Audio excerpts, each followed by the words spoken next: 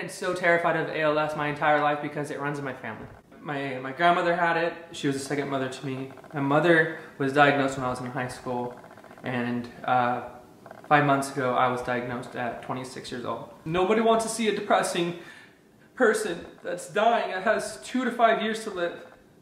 Only 30,000 people in the US have ALS. Not many people know about it. And there's not very much incentive for the pharmaceutical companies to invest the billions of dollars it takes to develop a drug. You have no idea how every single challenge makes me feel, lifts my spirits, lifts every single ALS patient's spirits. You're really, truly making a difference, and we're so, so, so grateful. Love you. Estamos de vuelta amigos, gracias por su sintonía. Hoy hablando sobre la esclerosis. ¿Qué pasó con la esclerosis? Le pusimos al título porque lo que pasó en el mundo fue un despertar eh, hacia el interés de la sociedad, de las sociedades en el mundo por esta enfermedad. Específicamente lo que, lo que fue el detonante fue que uno de, los, de las dos personas que decidieron empezar este Ice Bucket Challenge, que así le llamaron, era una persona que tenía esclerosis lateral amiotrófica y es algo que a lo mejor no es tan comúnmente conocido. Yo les comentaba que cuando yo me enteré de esto yo nunca había escuchado sobre este tipo de esclerosis. Sin embargo, empezamos a investigar y por eso decidimos hacer también este programa y queremos dedicar este último segmento específicamente a la esclerosis lateral amiotrófica. Y me da mucho gusto presentarles a ustedes al señor Pedro Rivas. Eh, él es paciente, él tiene, él padece esclerosis lateral amiotrófica. Pedro, bienvenido, ¿cómo está usted? Gracias, bien, tú. Gracias por estar con nosotros. El doctor eh, Neri nos sigue acompañando. Gracias, doctor. Quisiera, mm, ya nos había explicado un poquito, doctor, de cuáles eran estas diferencias de las enfermedades, pero quisiera, Pedro, que nos contara un poco su historia. Tengo entendido que hace 20 meses ya recibe usted el diagnóstico, aunque hace varios años antes usted ya había empezado con las manifestaciones. ¿Cómo empezó hace esos cuatro años que usted comentaba? Eh, no me pude cortar un día las uñas con el cortar uñas. Perdí la fuerza y luego adormecimiento en el brazo derecho que me hacía despertarme en la noche. ¿ah? Eh, luego comienza a variar un poco la voz, se traba la lengua como uno dice y luego comenzar a, a perder fuerza y movilidad en el brazo. Y entonces va usted, eh, después de estos años, ¿qué, qué, fue, ¿qué tratamiento recibió o qué fue lo que pasó? Sí, me diagnostican inicialmente síndrome de túnel del carpo. Mm. Me operan del túnel del carpo, pero me dicen que necesito ver un neurólogo.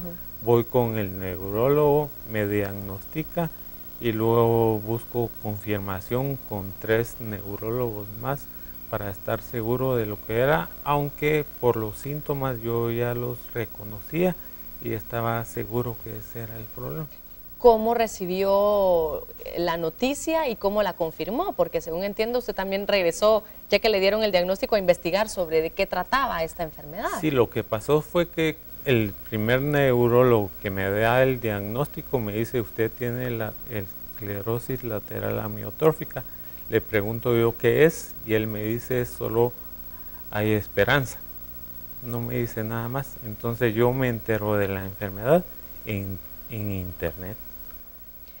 Tengo entendido, doctor, que esta, eh, este tipo de esclerosis, la lateral amiotrófica, contempla un cierto rango de vida, da unos ciertos años de vida a la persona que es diagnosticada. ¿Por qué, doctor?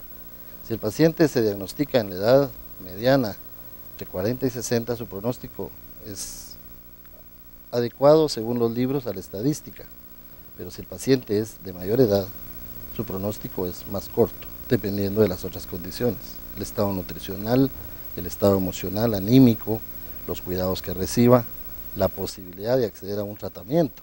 Que un tratamiento, una caja de Rilutec en el mercado normal, vale 8.600 quetzales. ¿Y eso para cuánto tiempo alcanza? Para un mes, 28, ni siquiera al mes, 28 días. 28 días. Y no es lo, carísimo. No lo y no lo venden en las farmacias. No lo venden en farmacias. El Seguro Social, afortunadamente, lo da a sus pacientes y los pacientes de seguros logran obtenerlo. Pero solo con eso tenemos un problema ya económico importante. Si logramos darle el tratamiento a un paciente, ¿cuánto le vamos a prolongar su, su buena vida, entre comillas?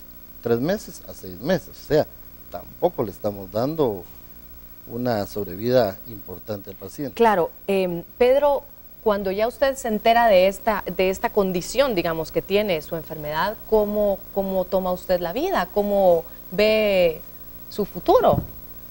Una depresión tremenda al principio. Claro.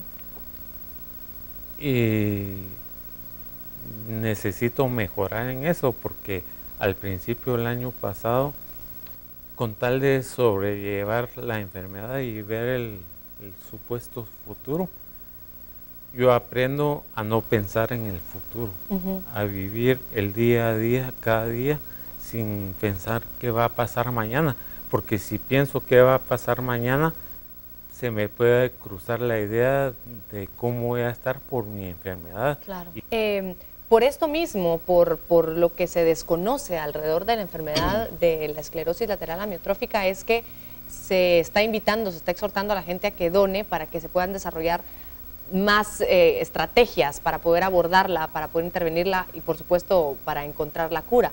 Doctor, ¿de qué manera las personas pueden también estar alertas a, esta, a este tipo de esclerosis? Bien, yo pienso que es importante que el paciente se preocupe por cualquier síntoma diferente a los catarros normales. Te voy a contar una anécdota rápidamente. El día de ayer yo estaba viendo mi consulta en el Hospital Nacional de Cuilapa, la consulta externa. Llegaron eh, y entró una paciente acompañada del esposo. La paciente iba por un problema de Parkinson, que ya la tengo en tratamiento, pero yo notaba al esposo que paladeaba mucho. Y él me dijo, fíjese que me siento raro, le puedo consultar, me siento algo mal, se debilita, le cuesta subir gradas, sí, mantiene mucha saliva en la boca, sí, enséñeme la lengua. Y no sé si tú quisieras enseñar la lengua, quisiera si se la pudieran enfocar porque es un signo tan importante para ver las fasciculaciones, saquémosla un poquito para que vean la atrofia. Y el movimiento constante, como que fuera una, una taza con gelatina que se mueve, eso se llaman fasciculaciones, ese es el músculo de la lengua. Igual tienen el cuerpo, y algo importante, aprovechando aquí al señor paciente, que nos enseñe los interóseos y veamos la diferencia, si es posible hacerlo. es la atrofia muscular.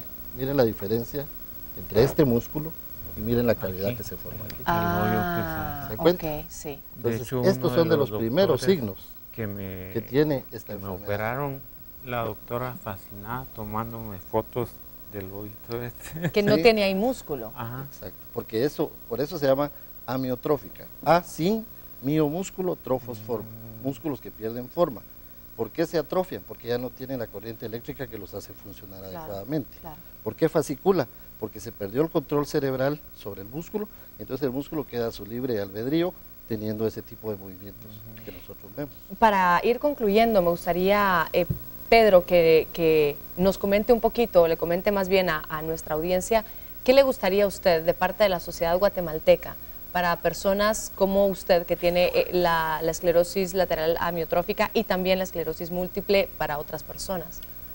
Primero sería que entiendan a la gente cuando encuentren una persona que tiene problemas de movilidad, de habla.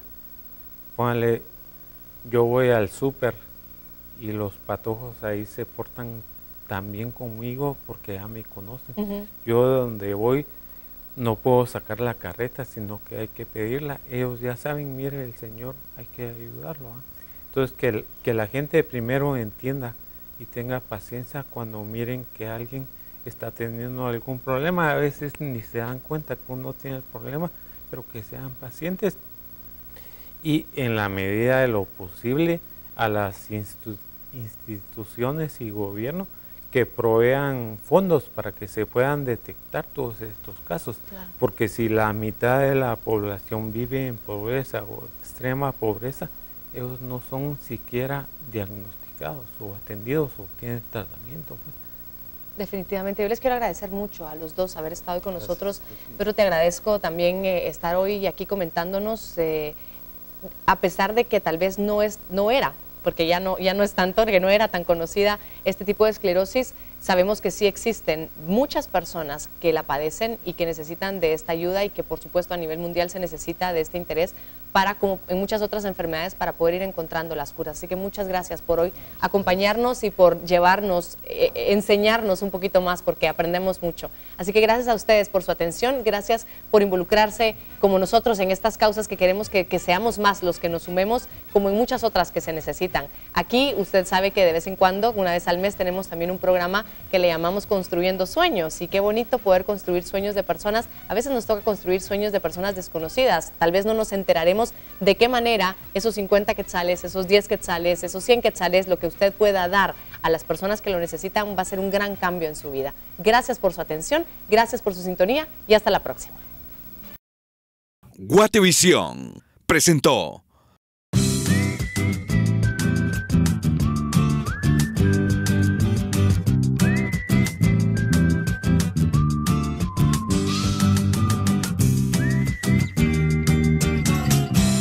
Guatevisión